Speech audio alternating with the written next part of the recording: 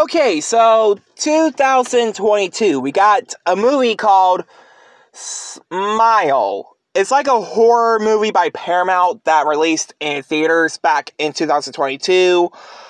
This year, we are getting a sequel with Na- Naomi Scott, for, who played the main character, who's a celebrity in the movie. Um, going to let you guys know, I never seen the first movie. To be honest, I totally forgot this movie was even announced a long time ago.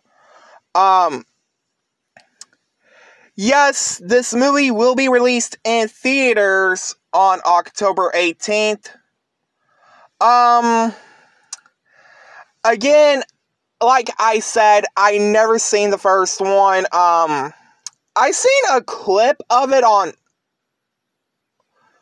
a while back. Um, it's creepy. It, it, it's just really creepy. Creepy. It's like their the smiley face wears them like a mask, which is really weird. Reminds me of Joker a little bit from Batman. So yeah, um. Don't know how long this movie will be. Probably like an hour 50 something minute movie. Um maybe it's going to be scary like bloody scary like violent scary like the Evil Dead style. Just like the first movie was. Again, like I said, I never seen the first movie. I heard it was really good some people said it was bad. So, yeah, again, never seen it. Um, this teaser trailer was out two months ago. And what's my thoughts about the Smiley 2 teaser trailer?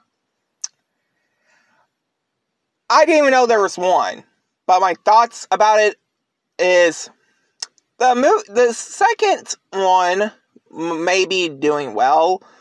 Because, like I said, I never seen the first movie at all. So, anyway, like, comment, subscribe.